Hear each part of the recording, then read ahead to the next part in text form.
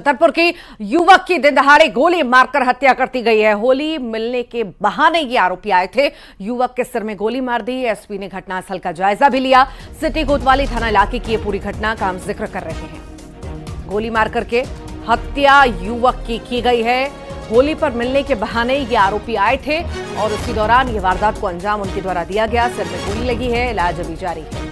माफ कीजिएगा इलाज जारी था पर अब मौत हो चुकी है होली के मिलने बहाने आए युवक और गोली मार दी और ये पूरा घटनाक्रम जो है सीसीटीवी कैमरा में कैद भी हुआ है तस्वीरें आप देख रहे हैं एसपी ने फिलहाल इस पूरे मामले में संज्ञान ले लिया साथ ही साथ घटनास्थल का जायजा भी उनके द्वारा लिया गया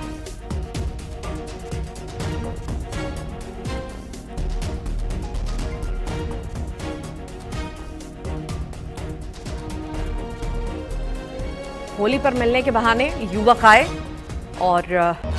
सर में गोली मारकर वहां से फरार हो गए छतरपुर का हम जिक्र कर रहे हैं दिन दहाड़े युवक पर गोली बरसाई गई सर में गोली लगी और मौत हो गई ज्यादा जानकारी के लिए नरेंद्र परमार हमारे साथ जुड़ गए हैं नरेंद्र होली के पर्व पर गोलियां चली युवक की मौत हो गई क्या था मामला बताइए देखिए पूरी घटना है छतरपुर का जो सिटी कोतवाली थाना अंतर्गत महोबा रोड पर आरटीओ ऑफिस के पास एक विवाद हुआ है जिस विवाद में गोली चली है गोली चलने के बाद एक युवक को गोली लगती है और युवक की मौत हो जाती है घटना की खबर लगते ही पुलिस मौके पर पहुंचाती पहुंच जाती है बाद में पुलिस अधीक्षक अगम जैन और एडिशनल एस विक्रम सिंह सहित सी सहित तमाम पुलिस के अधिकारियों ने घटनास्थल का जायजा लिया और जायजा लेने के बाद जो पीड़ित जो मृतक के परिजन हैं उनकी जो शिकायत है उनके उनके जो जिन जिन जिन हत्या की गई है उनके द्वारा नामजद रिपोर्ट कराई जा रही है पुलिस ने इस पूरे मामले में अभी तक चार लोगों के खिलाफ एफआईआर दर्ज की है और पुलिस पूरे मामले की जांच भी कर रही है कि आखिरकार घटना की वजह क्या है क्योंकि अभी तक पुलिस को इस पूरे घटनाक्रम की असल वजह समझ में नहीं आई है और हम्म। एडिशनल एसपी से हमारी बात हुई है तो उनका कहना है कि इस हत्याकांड में कई पहलू हैं क्यूँकी होली के दिन यह सनसनीखेज घटना हुई है तो ऐसे में जो जो चारों तरफ है वो सनसनी फैल गई है दहशत फैली हुई है तो लोग त्योहार के दिन भी यहाँ पर इस तरह का गोलीकांड हत्याकांड होने की वजह से लोग डरे हुए हैं ठीक बहुत बहुत शुक्रिया नरेंद्र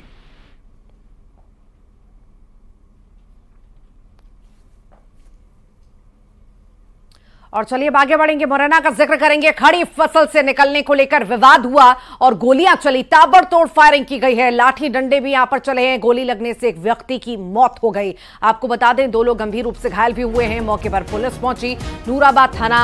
पुलिस पहुंची घायलों को जिला अस्पताल में भर्ती कराया नूराबाद थाना क्षेत्र के बिसैठा गांव की ये पूरी घटना है गांव में दहशत का माहौल है जब से ये ताबड़तोड़ फायरिंग हुई है मामला दर्ज कर आरोपियों की तलाश में पुलिस जुटी हुई है तो पूरे गांव में दहशत जरा सी बात को लेकर के यहां पर ताबड़तोड़ गोलियां चली हैं और एक व्यक्ति की मौत भी हुई है साथ ही साथ कुछ घायल भी बताए जा रहे हैं मामला दर्ज कर लिया गया है आरोपियों की तलाश पुलिस कर रही है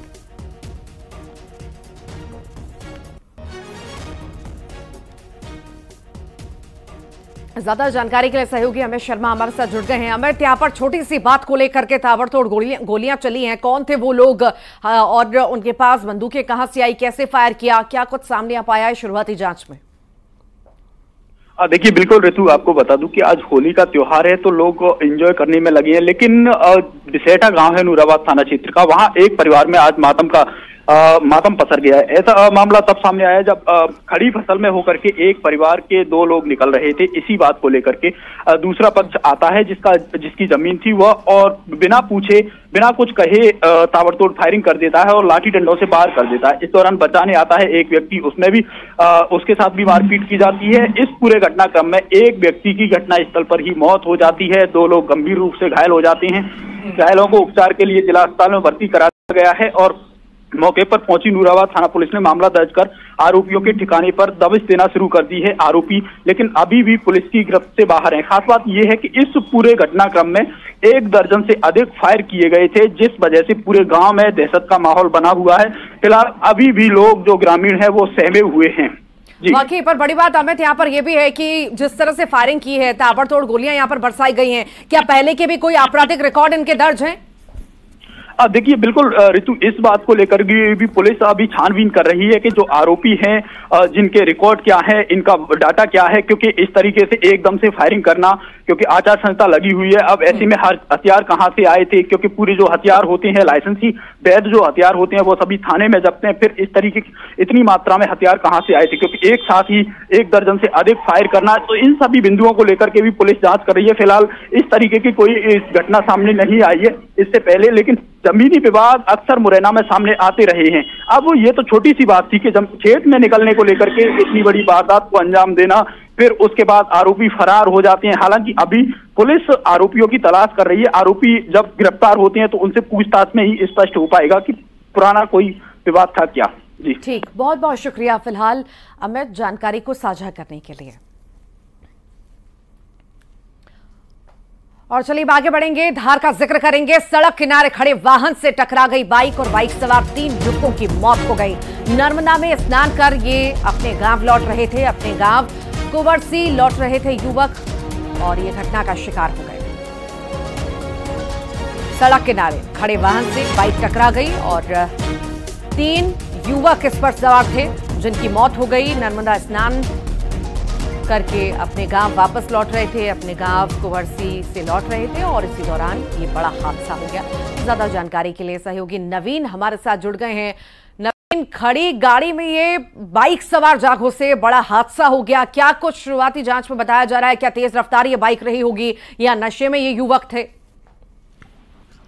जी हाँ बिल्कुल बताना चाहूंगा कि जहाँ एक और पूरा देश जो है होली की खुशियां मना रहा है वहीं दूसरी ओर जो है एक परिवार के जो है लिए होली का त्यौहार जो है मातम में तब्दील हुआ है ग्राम धानी में जो है ये पूरी घटना बताई जा रही है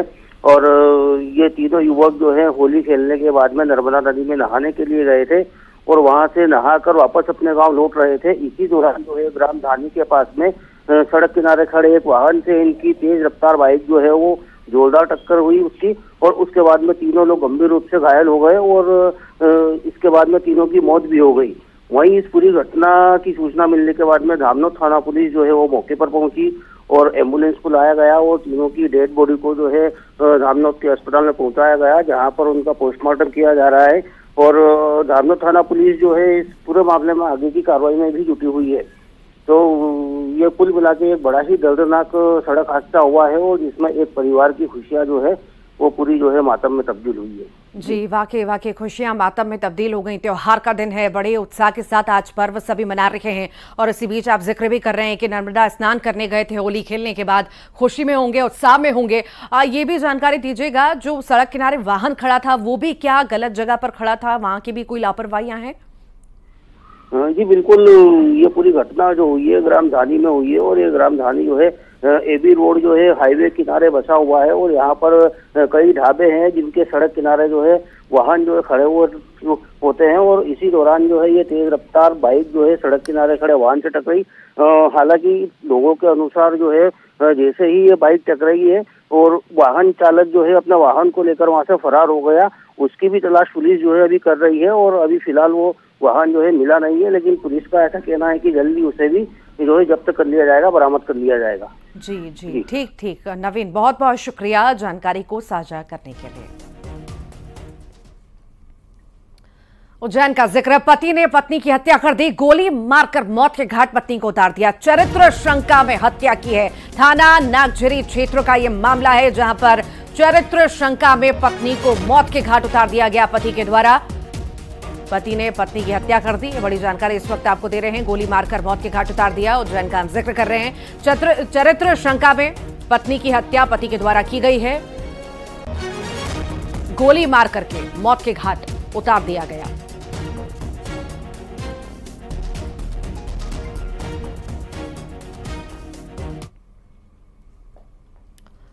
श्योपुर की बात करेंगे चंबल नहर में बेकाबू ऑटो गिर गया और ऑटो में तीन युवक डूब डूब गए जो ऑटो गिरा उसमें तीन युवक भी सवार थे लोगों ने नहर में कूदकर तीनों को बचाया कांग्रेस विधायक बाबू जंडेल ने मदद की उनकी और अपनी गाड़ी से तीनों को अस्पताल भी पहुंचाया तीनों युवकों की हालत अभी स्थिर बताई जा रही है चंबल नहर में बेकाबू ऑटो गिर गया उसमें तीन युवक सवार थे समय रहते आसपास के लोगों ने उन्हें बचा लिया उन्हें बाहर निकाल लिया और उसके बाद कांग्रेस नेता ने अपनी गाड़ी में बिठा करके कांग्रेस विधायक है बाबू जंडेल इन्होंने मदद की उनकी और अपनी गाड़ी से तीनों को अस्पताल पहुंचाया फिलहाल तीनों युवकों की हालत स्थिर बताई जा रही है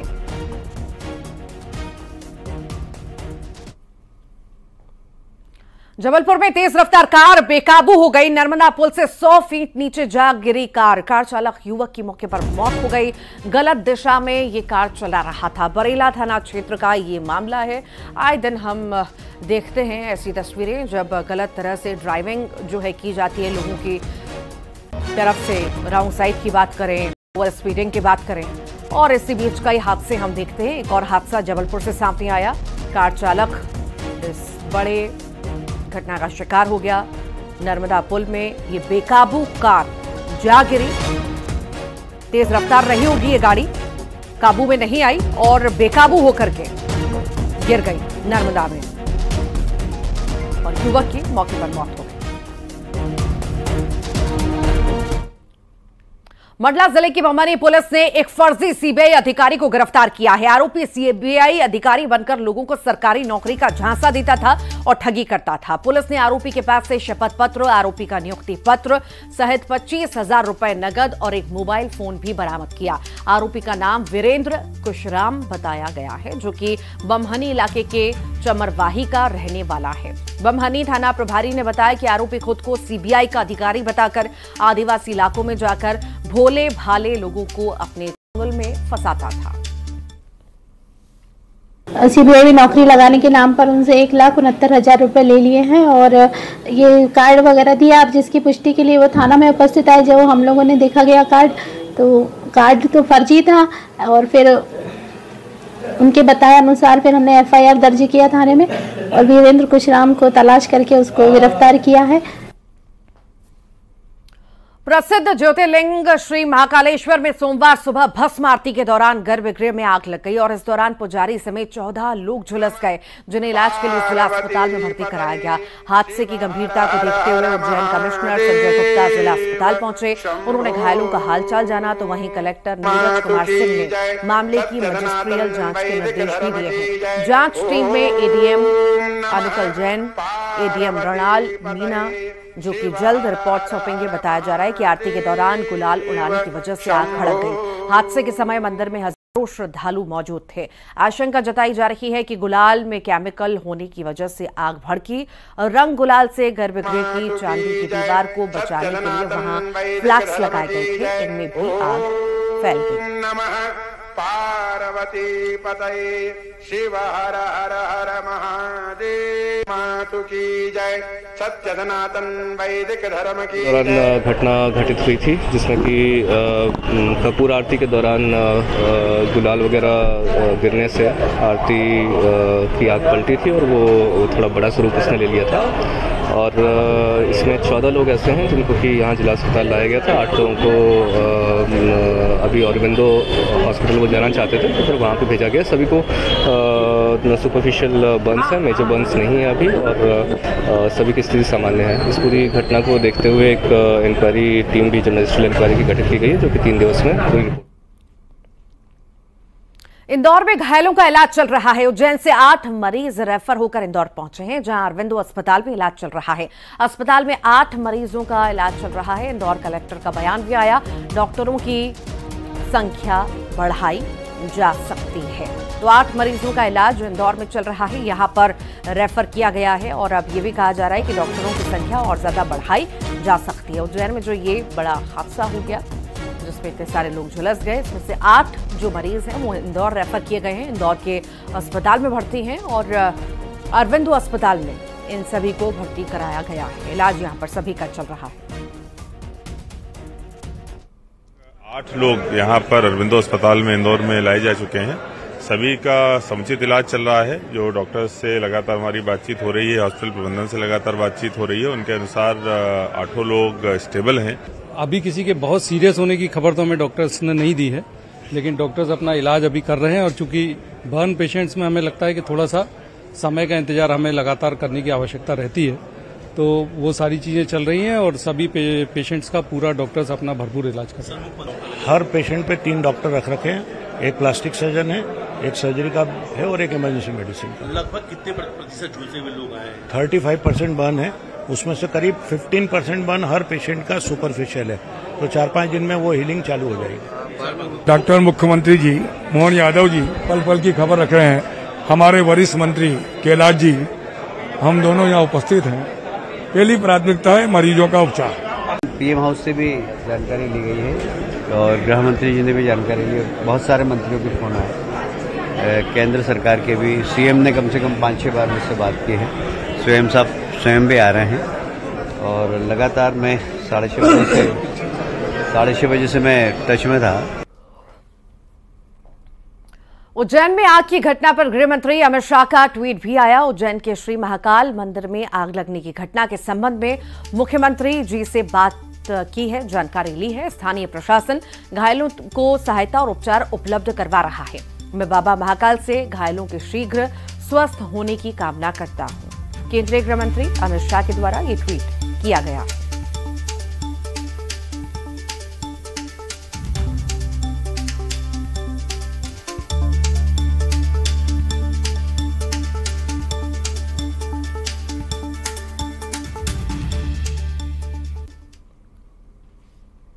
उज्जैन हादसे के जांच के आदेश दे दिए गए हैं सीएम डॉक्टर मोहन यादव ने आदेश दिए हैं कपूर या अन्य किसी केमिकल के कारण हादसे की आशंका जताई जा रही है बड़ी घटना हो सकती थी लेकिन भगवान ने रक्षा की है सीएम ने ये बातें कही हैं गुलाल डालने के दौरान कपूर या अन्य किसी वजह से आग भड़कना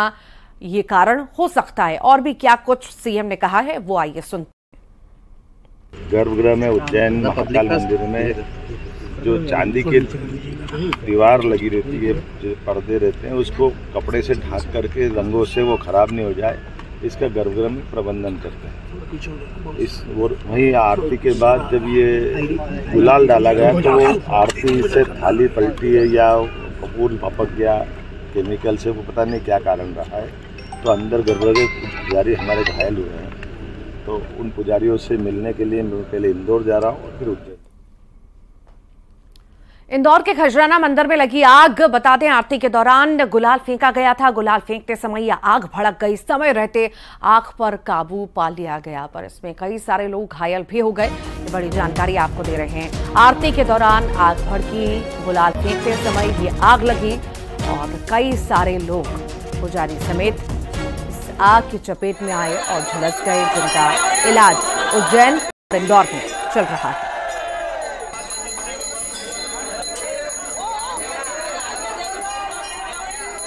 ये तस्वीरें आप देखिए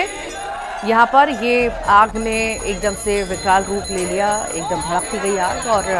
कई सारे लोग इसकी चपेट में आए धार की भोजशाला में इंदौर हाईकोर्ट के आदेश के बाद एएसआई की टीम लगातार सर्वे कर रही है एएसआई की टीम ने चौथे दिन का सर्वे पूरा कर लिया है हालांकि होली का त्योहार होने के चलते मजदूरों को नहीं बुलाया गया था लेकिन एएसआई की टीम और हिंदू मुस्लिम पक्षकार के लोग भोजशाला के सर्वे के लिए मौजूद रहे आज के सर्वे में मेजरमेंट का प्रमुख कार्य किया गया भोजशाला परिसर के पचास मीटर के दायरे में मेजरमेंट किया गया तो वहीं भोशाला मुक्ति यज्ञ के संयोजक गोपाल शर्मा भी एएसआई की टीम के साथ सर्वे में मौजूद रहे कल मंगलवार के दिन नियमानुसार पूजा और हनुमान चालीसा का पाठ किया जाएगा कांग्रेस नेता सुप्रिया श्रीनेत के ट्वीट पर बीजेपी आईटी सेल के प्रमुख अमित मालवीय ने रीट्वीट कर निशाना साधा अमित मालवीय ने कांग्रेस अध्यक्ष मल्लिकार्जुन खड़गे को अटैक करते हुए श्रीनेत को पार्टी से निकालें या खुद इस्तीफा दें आपको बता दें कि सुप्रिया सुनेत ने मंडी से बीजेपी उम्मीदवार कंगना रनौत की एक फोटो लगाई है और लिखा है कि कोई बताएगा कि मंडी में क्या भाव चल रहा है हालांकि उन्होंने उसके नीचे बुरा न मानो होली का एक वीडियो भी लगाया है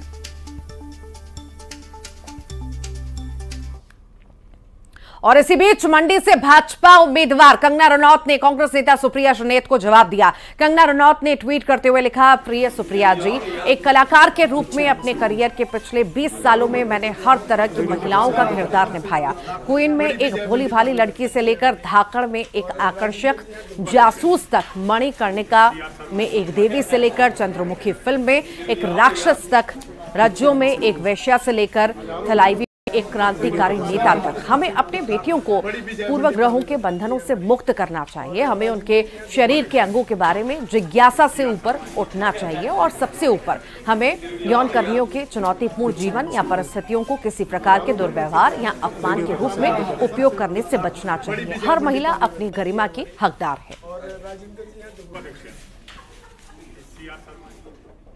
प्रधानमंत्री नरेंद्र मोदी अपनी दो दिवसीय भूटान यात्रा पूरी कर चुके हैं और भारत वापस आ चुके हैं साथ ही उनकी यात्रा से जुड़ी कुछ तस्वीरें सामने आई हैं हम आपको दिखा रहे हैं भूटान के राजा जिग्मे खेसर नामग्याल वांगचुक ने लिंकाना पैलेस में पीएम मोदी के लिए एक विशेष डिनर का आयोजन किया था बता दें कि पीएम मोदी ने इस दौरान वहां राजकुमारों के साथ कुछ शानदार पल भी साझा किए डिनर में राजा के साथ उनका परिवार और बच्चे भी मौजूद थे पीएम मोदी ने राजा और उनके पूरे परिवार के साथ तस्वीरें भी खिंचवाई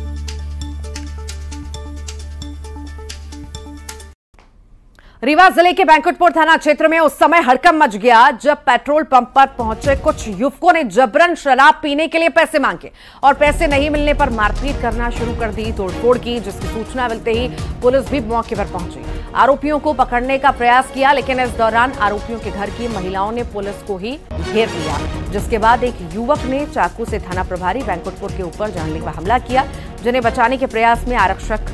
घायल हो गए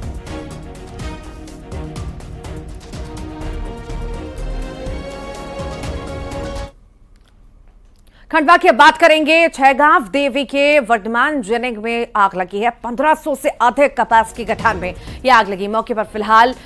फायर ब्रिगेड की टीम फायर ब्रिगेड की गाड़ियां पहुंच चुकी हैं आग से करोड़ों के नुकसान की भी आशंका है महाराष्ट्र के मलकापुर के जैन परिवार की ये मिल है जिसमें ये भीषण आग लगी है तस्वीर देखिए तस्वीरों को देख ये समझा जा सकता है कि कितनी भीषण ये आग रही हो धुएं का गुबार आप देख रहे हैं कि इतना प्रयास किया जा रहा है उसके बाद भी धुएं का गुबार उठता जा रहा है बुरहानपुर में पुलिस ने अवैध शराब बरामद की है जमीन खोदकर निकाली गई अवैध शराब प्लास्टिक की टंकियों में ये शराब रखी गई थी पैंसठ लीटर कच्ची महुआ शराब जब्त की गई महुआ लहान जब्त कर हाँ। नष्ट कर दिया गया अवैध शराब के खिलाफ कार्रवाई लगातार जारी फुल भारी हुई ठीक है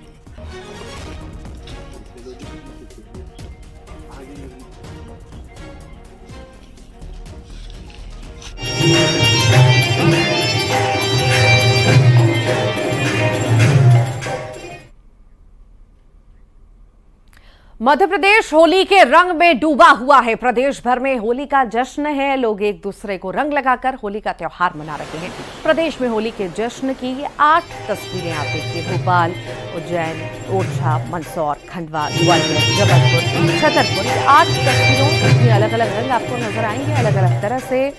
लोगों ने होली का पर्व मनाया तो वहीं इंदौर के राजबाड़ा पर होली का जबरदस्त माहौल दिखा बड़ी संख्या में लोग राजबाड़ा पहुंचे और जमकर होली खेली